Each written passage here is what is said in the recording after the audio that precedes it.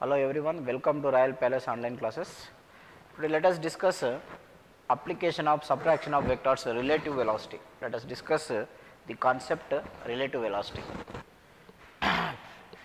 See relative velocity indicates the velocity of a body with respect to another body. Calculation of the velocity of a body with respect to another body. Suppose there are two bodies, there are two vehicles let us take the vehicle A and vehicle B.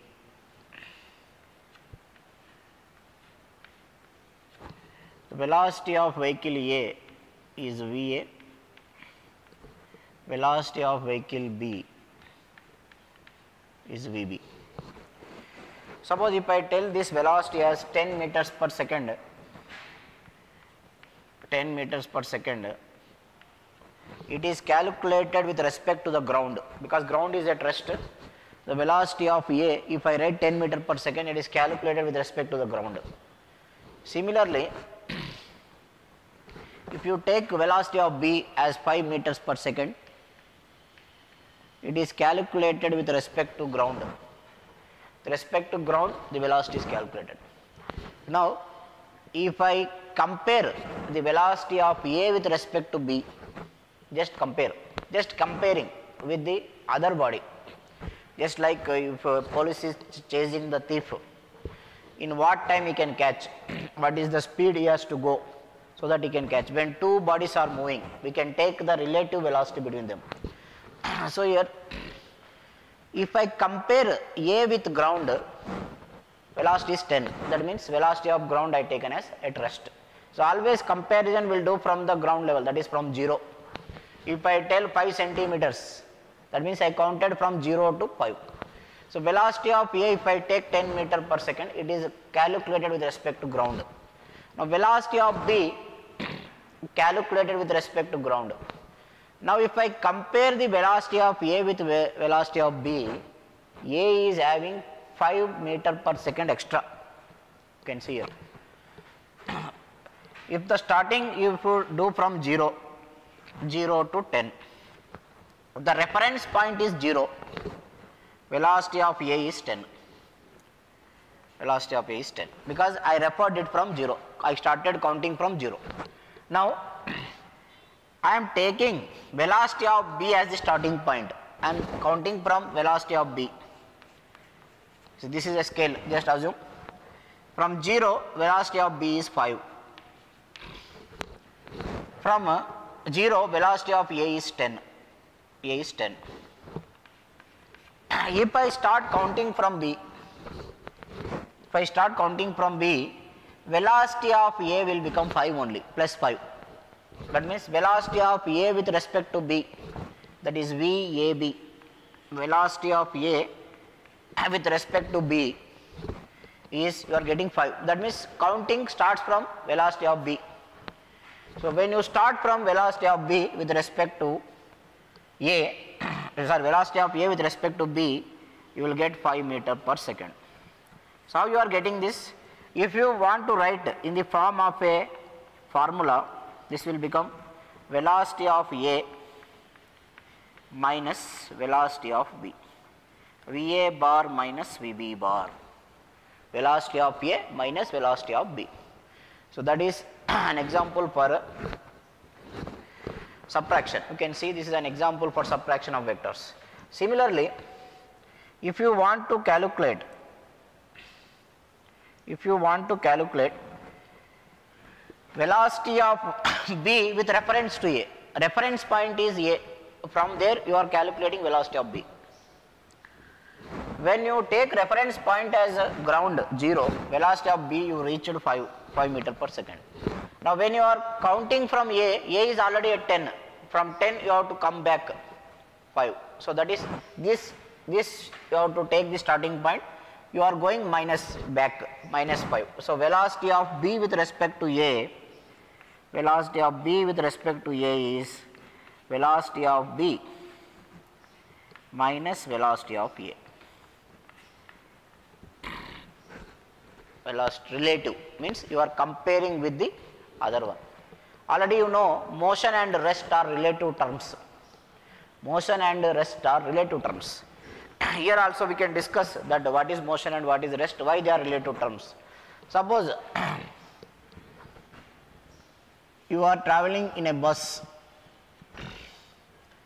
you are traveling in a bus with respect to driver, you take driver and one of your friend is standing outside. This is A, this is driver, this is B. With respect to B, A is in motion because A is on the ground, bus is moving. So, according to B, A is moving. But with respect to driver, with respect to driver, A is at rest. That means it is relative term. When you are comparing, suppose if two bodies are moving with same velocity, each body will feel that they are at rest.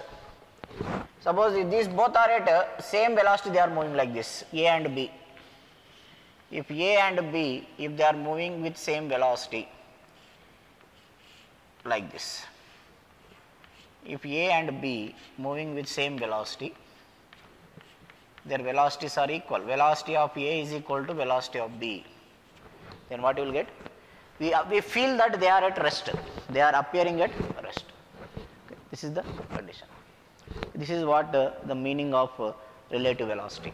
If I tell velocity of a body is 100 meter per second. So, with what comparison I am telling? I am comparing from the velocity of ground. I will take velocity of ground at rest velocity of ground at rest. I will take a fixed point from that I will define the velocity. From that I will define the velocity. So, relatively this is the condition.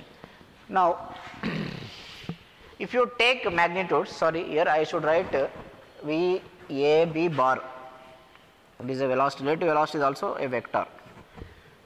If I take magnitude of this, magnitude of V A bar VAB bar magnitude is equal to root of VA square plus VB square plus 2 VA VB cos theta. If you calculate the magnitude of VBA is equal to root of VA square plus VB square plus 2 VA VB cos theta. So, from this what you can understand? From this what you can understand? Their magnitudes are same. Magnitude of velocity of A with respect to B is equal to magnitude of velocity of B with respect to A. Both are equal. Here also relative velocity of A with respect to B I got 5 meters per second, B with respect to A I got minus 5, minus 5 I got. Magnitudes are same, then what about their directions? So, let us take uh, relative velocity of A with respect to B. Assume this is A bar, this is B bar. This is velocity of A direction, this is velocity of B direction. They are making an angle theta. If I want to calculate relative velocity of A with respect to B, that means I have to draw minus VB. This is minus VB. This is minus VB. This angle will be 180 minus theta that is we are just calculating the direction. So, this is minus VB right. Now, these two represent two adjacent sides of a parallelogram. You can complete the parallelogram like this. You can complete the parallelogram like this. Okay. If you complete the parallelogram, these two represent two adjacent sides of a parallelogram. You can complete like this. You draw the parallelogram, then this is the diagonal. Diagonal represents the resultant. So, this is the value of VA bar minus VB bar direction. Okay. Now, if you want to calculate VB bar minus VA bar, this is the direction of relative velocity of A with respect to B. This is A minus B just you have drawn. Now, if you want to calculate VB bar minus VA bar, minus va bar you to just draw like this minus va bar this is minus va bar these two represent two adjacent sides of a parallelogram. Then the resultant is the diagonal like this. The resultant is the diagonal. Resultant is the diagonal. So these two will be exactly opposite. Va bar vab this is the vba this is vab vab bar is equal to minus of vba bar okay? Exactly opposite. Just you can see here i got plus 5 next time i will get minus 5 magnitudes are same but their directions are opposite. So first time you will get a 10 minus 5 you get a 5 next time 5 minus 10 you will get minus 5 so this is the condition of relative velocity. Relative velocity is nothing but comparing the velocity of a body with another velocity another velocity of another body. And uh, the it is a vector so we will follow vector subtraction. You can follow vector subtraction. Here you can write minus also. If you write minus here angle between uh, VA and VB you can take directly. If you write plus uh, angle between VA and minus VB you have to take. So here you can write minus. Because if uh, VA and VB making an angle theta so this is very important thing what you have to remember. This is VA VB making an angle theta. If you take directly theta here you have to take minus. Because addition is between VA and minus VB if you take minus VB this will be minus VB this is 180 minus theta so 180 minus theta is minus cos theta. When you take angle between VA and minus VB directly you can write plus there. You can take plus. If you are taking angle between VA and VB you have to write minus. That is the difference. Angle between VA and VB will be theta. At that time directly you write minus there. Because it is subtraction. Angle between VA and minus VB is 180 minus theta. At that time you take plus there. Cos 180 minus theta again you will get minus. So this is about the relative velocity of concept relative velocity concept.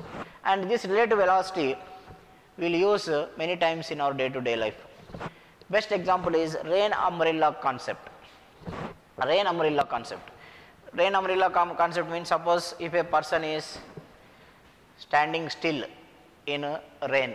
If a rain is falling vertically down person will hold umbrella vertically upwards like this vertically upwards if the same person is walking forward or running forward and uh, rain is falling vertically down it is our common experience that we will keep umbrella in front front like this at certain angle will keep and will walk will walk with certain velocity.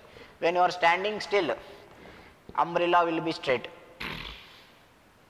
And when velocity of rain with respect to you, you are also moving. When you are moving, what happens?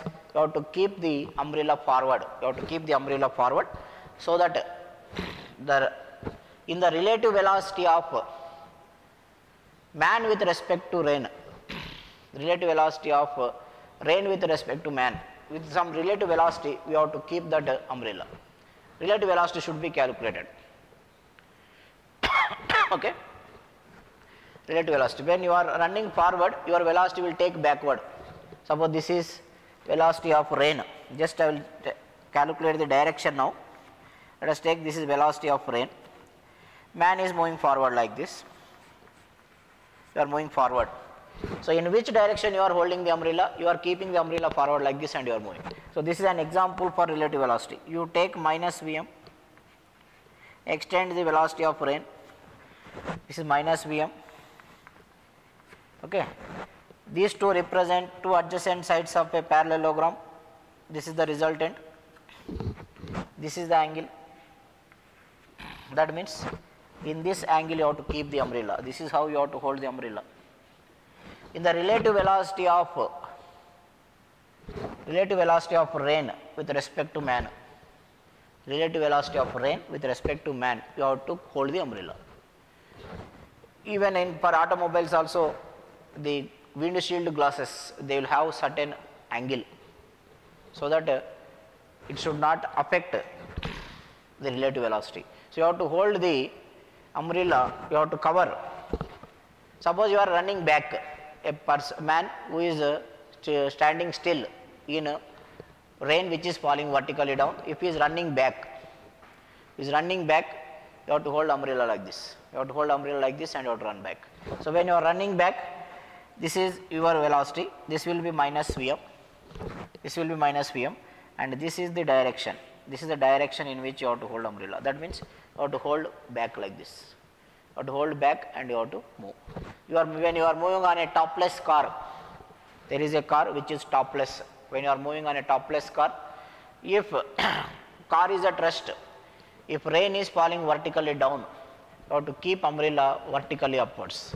If uh, car is moving forward, you have to keep umbrella forward like this. In which direction you have to hold the umbrella? In the direction of Vr minus Vm, that is relative velocity of rain with respect to man. In the direction of relative velocity of rain with respect to man, you have to hold the umbrella. Suppose if car is going back, at that time you have to hold umbrella back. That is the concept of relative velocity. So in a rain umbrella concept, will get many number of problems. Even one or two problems, I think they are there in your NCERT book also. So they will ask many type of problems based on rain umbrella concept. So that we will explain in detail. It is based on relative velocity. rain umbrella concept is based on relative velocity. That we will explain in detail in the next session. In next class, we will take in detail how to solve problems rain umbrella concept. So thank you everyone for joining me.